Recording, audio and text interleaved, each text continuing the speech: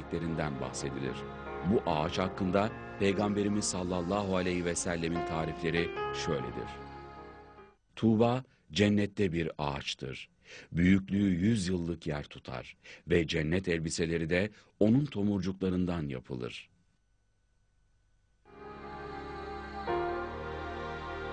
Tuğba ağacı benzersiz özelliklere ve görünmemiş bir genişliğe sahiptir. Bunun yanı sıra hadislerde dünyadaki sebeplerin geçerli olmadığı cennet ortamında cennet elbiselerinin de bu ağaçtan yapıldığı ifade edilmektedir.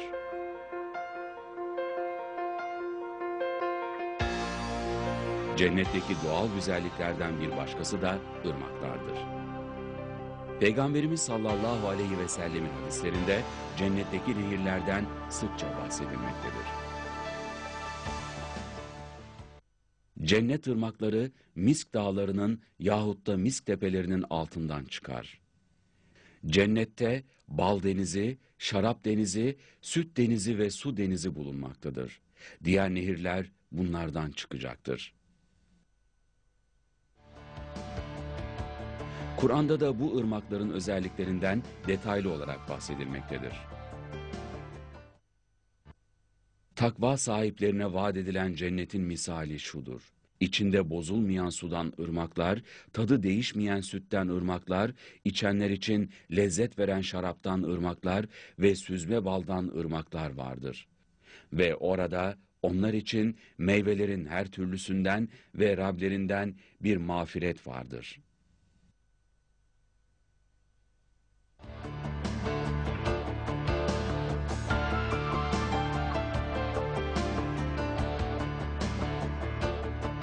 Hadiste ve ayette cennette baldan, sütten, şaraptan denizlerin olacağından bahsedilmektedir.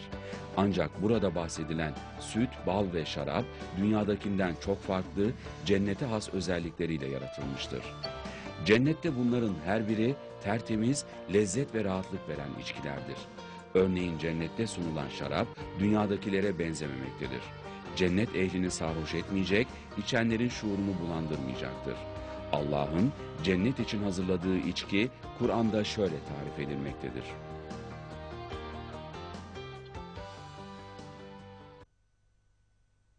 Bembeyaz, içenlere lezzet veren bir içki. Onda ne bir gaile vardır ne de kendilerinden geçip akılları çelinir.''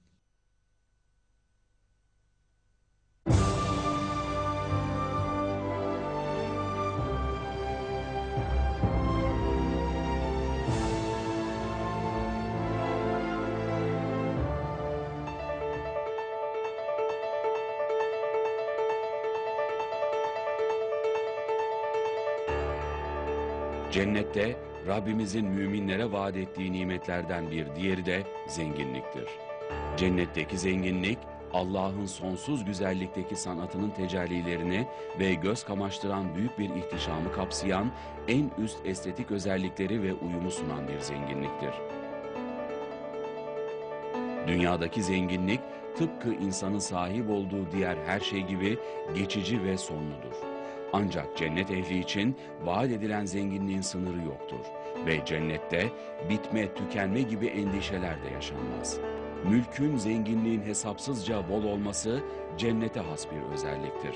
Peygamberimiz sallallahu aleyhi ve sellem bir hadisinde cennetteki mülkün çokluğuyla ilgili olarak şöyle buyurmuştur. Ehli cennetin en aşağı dereceli olanının cennetteki mülkünü temaşası 2000 sene sürer ve bu mülkün en uzak kısmını en yakını gibi görür. Hadiste de dikkat çekildiği gibi cennetteki nimetlerin çok az bir kısmı bile dünya ölçüleriyle kıyaslandığında çok muazzam büyüklükleri ifade etmektedir. Ayrıca Allah, Kur'an'da cennetteki mücevherlerin ve kıymetli taşların varlığına dikkat çeker. Özenle işlenmiş mücevher tahtlar üzerindedirler. Adın cennetleri onlarındır. Oraya girerler, orada altından bileziklerle ve incilerle süslenirler.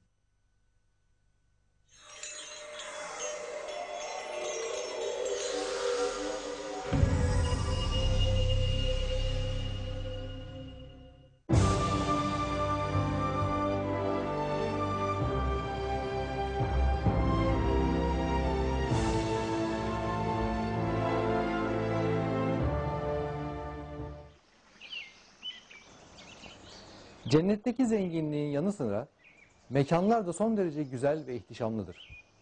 Dikkat ederseniz dünyanın en güzel mekanları arasında saraylar, köşkler hep ilk sıralarda yer alır.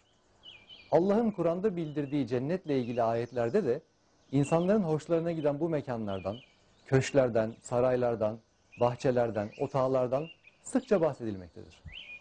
Örneğin cennetteki köşklerin yüksek olduğu ve altlarından ırmaklar aktığı Kur'an ayetlerinde şöyle bildirilir. İman edip salih amellerde bulunanlar. Onları içinde ebedi kalıcılar olarak altından ırmaklar akan cennetin yüksek köşklerine muhakkak yerleştireceğiz. Salih amellerde bulunanların ecri ne güzeldir. Aynı zamanda hadislerde cennet mekanlarının her malzemesinin çok değerli olduğuna dikkat çekilmiştir. Çakıl gibi bolca bulunan taş parçalarının yerine de yakut, zümrüt ve inci olacağı bildirilmiştir.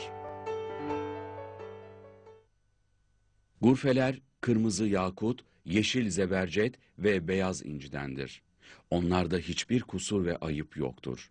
Cennet ehli bunlara sizin gökte, doğu ve batıdaki parlak yıldızlara baktığınız gibi bakarlar.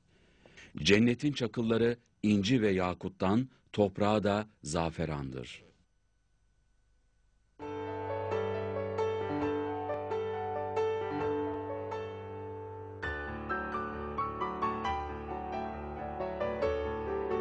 Cennet köşklerinin zenginlik ve ihtişamın simgesi sayılan yakut, zümrüt, inci gibi mücevherlerden yapılmış olması onların paha biçilmez değerlerini vurgulamak açısından son derece önemlidir. Peygamber Efendimiz sallallahu aleyhi ve sellem bir başka hadisinde cennet köşklerinin yeşilliklerle çevrili olduğunu ve su kenarında yer aldığını şöyle buyurmaktadır. Cennette bir köşk vardır. Etrafı burçlar, otluk, sulak yerlerle çevrilidir. Beş binde kapısı vardır.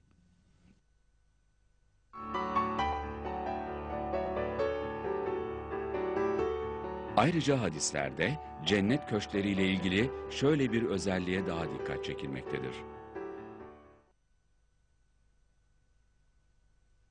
Cennette öyle köşkler vardır ki içindeki dışındakini, dışındaki içindekini görür.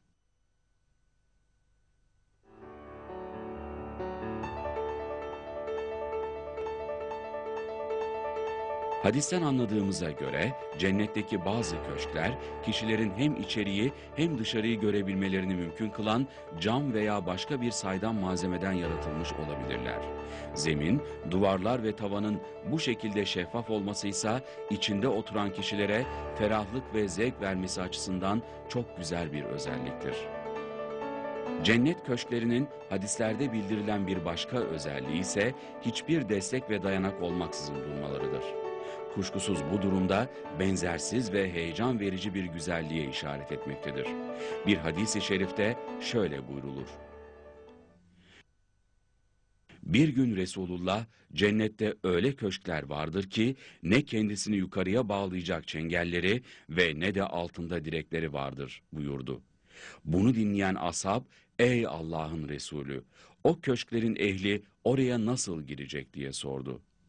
Resulullah onlar kuşlar misali uçarak girecekler buyurdu.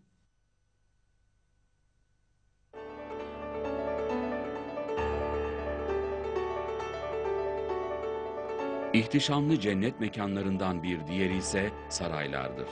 Peygamberimiz sallallahu aleyhi ve sellemin hadislerinde cennetteki saraylardan da söz edilmektedir. Bir hadiste şöyle bildirilir. Cennetin içinde inciden bir saray vardır. O sarayın içinde kırmızı yakuttan yetmiş konak vardır. Her konağın içinde yeşil zebercetten yetmiş ev vardır. Her evin içinde yetmiş taht, her taht üzerinde de her renkten yetmiş yatak vardır. Her evin içinde yetmiş sofra, her sofranın üzerinde de yetmiş çeşit yemek vardır. Keza her evin içinde yetmiş adet hizmetçi vardır.''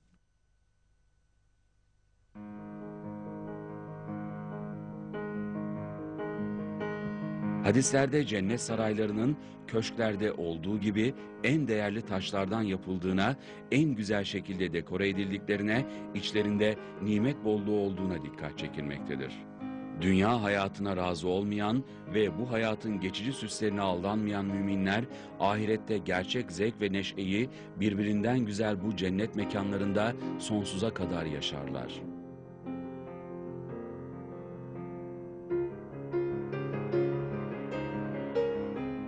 Cenab-ı Allah'ın cennette müminler için yarattığı güzel mekanlardan bir başkasıysa otağlar yani çadırlardır. Peygamber Efendimiz sallallahu aleyhi ve sellem birçok hadisinde cennetteki otağlardan bahsetmiştir. Bunlardan bir tanesi şöyledir.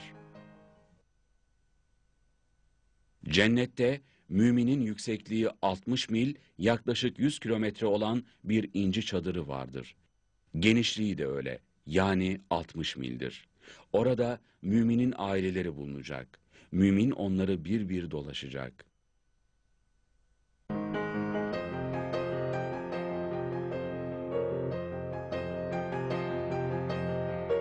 Her şeyin en mükemmel haliyle yaratıldığı cennette, çadırlarda olabilecek en üst konforla müminlerin zevkine, rahatına, keyfine uygun şekilde var olacaklardır. Peygamberimiz sallallahu aleyhi ve sellemin bildirdiği gibi değerli cevherlerden yapılan bu çadırlar olağanüstü bir genişliğe sahiptirler. Hadislerde cennet ehlinden kişilerin çok geniş ve yüksek olan inci tanelerinin içinde aileleri ve yakınlarıyla mükemmel bir hayat sürdükleri haber verilmektedir. Kuşkusuz bu Rabbimizin benzersiz yaratma gücünün ve sanatının bir tecellisidir. Cennet mekanlarıyla ilgili olarak çarşılarda pek çok hadiste tasvir edilmiştir. Bu alışveriş mekanları insanların ihtiyaçlarını karşılamaları için önlerine birçok seçenek sunar. İnsanlar iyi beslenme, farklı tatları deneme, şık ve güzel giyinme, işlerini kolaylaştıracağını düşündükleri araçları satın alma gibi amaçlarla bu yerlere giderler. İşte insanların dünya şartlarında hoşlarına giden bu nimeti Allah cennette de en güzeliyle yaratacaktır. Cennetteki çarşılar sayısız çeşitlilikte nimetle, bolluk sevinci uyandıran görüntüleriyle cennet ehlinin içlerindeki bu arzuya hitap edecektir. Üstelik cennette dünyada bu nimetin beraberinde olan pek çok imkansızlık da ortadan kalkmış olacaktır. Örneğin dünyada insanlar alışveriş yerlerini dolaşmaktan zevk almalarına rağmen bundan yorulurlar. Bunun dışında alışveriş yapmaktan zevk almasına rağmen dilediğini satın alma imkanına sahip olmayan insanlar da vardır. İnsanlar ancak fiyatını ödedikleri sürece bu çeşit bolluğun içinden istedikleri ürünü seçebilirler. Ama eğer bu imkana sahip değillerse sadece bu mekanları gezmekle yetinmek durumundadırlar. Oysa Peygamberimiz sallallahu aleyhi ve sellemin hadislerde haber verdiğine göre cennet çarşılarında insanlar istedikleri her şeyden diledikleri kadar alabileceklerdir. Bu mekanlardaki nimet çeşitleri ise insanların daha önce hiç görmedikleri ve hayalini bile kurmadıkları türden nimetler olacaktır. Hadislerde bu durumdan şöyle bahsedilir. Muhakkak cennette bir çarşı vardır ki melekler orayı ziyaret ederler. Orada gözlerin mislini görmediği, kulakların duymadığı ve kalplere gelmeyen nimetler vardır. Canımızın istediği her şey bize getirilir. Fakat orada satılan ve satın alınan hiçbir şey yoktur. O çarşıda cennet halkının